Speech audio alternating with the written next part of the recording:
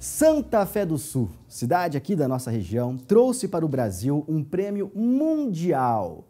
O município, que é considerado um dos maiores polos de pescados do país, recebeu o primeiro lugar na Feira Internacional de Comercialização e Tecnologia do Pescado, isso em São Paulo. O prato inovador foi a coxinha de tilápia. Santa Fé do Sul, cidade do interior de São Paulo, que tem 30 mil habitantes e é um dos maiores polos de pescado do país. O pH das águas do município favorece a criação de tilápia, que virou prato típico oficial do município. Dona dessa empresa que produz o peixe em Santa Fé do Sul, a Sônia teve a brilhante ideia de juntar a maciez da tilápia com a crocância de um salgado frito. Foi assim que surgiu a coxinha de tilápia.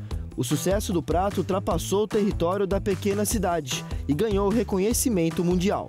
Uma alegria muito grande, né? Nós somos uma instância turística e a cada vez que a gente pode, com o nosso produto, né, fortalecer o nome da nossa cidade, mostrar um pouco do potencial da nossa cidade, que é uma cidade tão linda, né, turística, com tanta beleza natural e ainda com atrativos culturais e ainda agora com culinária, né? A competição internacional envolveu países do mundo todo em outubro do ano passado, na Feira Internacional de Comercialização e Tecnologia do Pescado em São Paulo. Originalidade, sustentabilidade e embalagem foram os critérios analisados pelos organizadores. O anúncio do troféu de primeiro lugar ao prato brasileiro foi uma surpresa mais que agradável. Foi maravilhoso, é, é, a coroação de todo um esforço, de todo um trabalho, da gente que é uma indústria familiar, né? De um produto que é, é originalmente brasileiro, porque o produto era inovação, então gente, e assim, e não tem um conservante, um aditivo, é produto com gosto de mãe, tempero de mãe. A massa é a base de mandioquinha. Ela leva leite, temperos e caldo da tilápia. O tempo para fritura é igual de uma coxinha convencional, cerca de 4 minutinhos. O recheio é a mistura da tilápia com tomate, cebola, azeitona e temperos a gosto. Então chegou a hora da gente provar, sentir o sabor, né, Sônia? Da coxinha número 1, um, a vencedora do prêmio. Vamos lá então?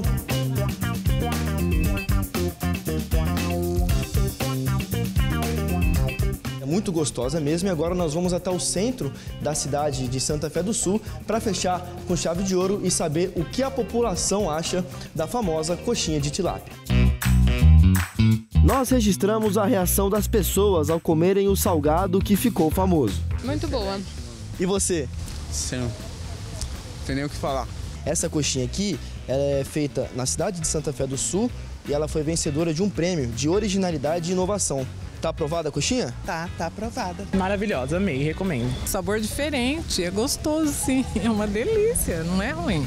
Eu nunca tinha comido coxinha de peixe, primeira vez. Agora o plano é inovar mais uma vez em 2024 para trazer outro prêmio e fazer com que Santa Fé do Sul leve o nome do Brasil para o mundo todo. Com certeza eu vou estar buscando essa premiação, buscando trazer o prêmio para Santa Fé do Sul, para a nossa região, para todos os pescadores, todos os peixeiros do Brasil, né, para que a gente possa ter essa honra novamente.